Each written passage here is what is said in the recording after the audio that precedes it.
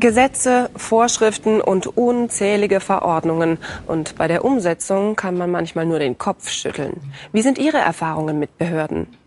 Der eine ist nicht zuständig, sondern der fühlt sich nicht verantwortlich dafür, gibt es weiter. Weil der eine im Urlaub ist und der andere ist krank. Als Normalbürger sieht man da manchmal gar nicht durch und, und versteht manchmal auch die Gesetze gar nicht. Ne? Ich meine, in anderen Ländern muss man zwei Jahre oder zwei Tage auf, eine, auf einen Antrag warten und dann geht es hier eigentlich noch ganz gut. So viele Auflagen, wie es da in Deutschland gibt, gibt es, glaube ich, nirgends. Und dann kommen noch so Sachen dazu, über die man sich ärgert. Ich habe einen voll glatzköpfigen, frisch rasierten Koch und muss 35 Euro Strafe zahlen, weil er keine Kochhaube aufhatte. Also das sind Sachen, da fragt man sich grundsätzlich, ob das Sinn macht und da ärgert man sich halt dann schon. Herzlich willkommen, die Drehscheibe zum Ende der Woche. Ja, Sie haben sich bestimmt auch schon mal geärgert wegen Kleinigkeiten über Behörden. Das hier allerdings ist schon ein Hammer. Edeltraut Geiser traut ihren Augen nicht, als sie ihre Post öffnet.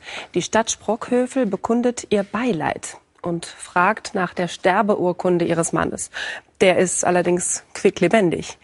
Wer hat den Rentner plötzlich für tot erklärt? Als das Ehepaar aus dem nordrhein-westfälischen Sprockhövel wie immer am Monatsanfang gucken will, ob die Rente auf dem Konto eingegangen ist, bekommen die beiden einen Riesenschreck. Da stimmt aber was nicht. Nee. Von der Rente gar nicht überwiesen. Nee. Was fehlt Ihnen? 1300 Euro fehlen uns dann. Miete muss bezahlt werden, Strom muss bezahlt werden. Am nächsten Morgen ist Post im Kasten, ein Brief von der Stadtverwaltung für Edeltraut Geiser. Schätzelein, ich hab Post gekriegt von der Stadt Sprockhövel. Was Gutes oder was Schlechtes? Das kann ich dir nicht erzählen, das musst du selber lesen. Hans-Werner Geiser traut seinen Augen nicht. Ich bin tot seit dem 10.01. Nee. Für die Stadt schon. Sie bittet die Witwe um die Zusendung der Sterbeurkunde. Ja, mir schreiben Sie hier, dass Herr Hans-Werner Geiser, ich, am 10.01.2016 verstorben ist. Und er möchte meiner Frau sein Mitgefühl aussprechen. Ich war richtig froh, dass mein Mann noch neben mir sitzt. Das ist ja schon ein Schrecken. Im Rathaus von Sprockhövel erfährt der Toderklärte, dass die Krankenkasse für den Irrtum verantwortlich ist. Ein Mitarbeiter der AOK hatte einfach eine falsche Taste gedrückt, ein menschliches Versehen sozusagen. Vor unserer Kamera wollen sich weder Stadt noch Kasse äußern. Schriftlich drückt die AOK ihr Bedauern aus und entschuldigt sich persönlich mit einem Blumenstrauß. Fehler passieren immer in der heutigen digitalen Welt, aber dass sowas passiert, das ist doch ein bisschen makaber.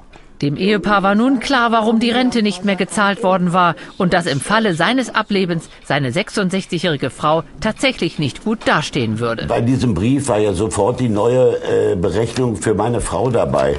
Und wenn ich dann sehe, wie wenig Geld die dann hat, wenn ich nicht mehr lebe, das ist schon komisch. Also dann muss ich noch irgendwas machen, dass wir noch zu Geld kommen, dass sie gut lebt, wenn ich nicht mehr da bin. Ne?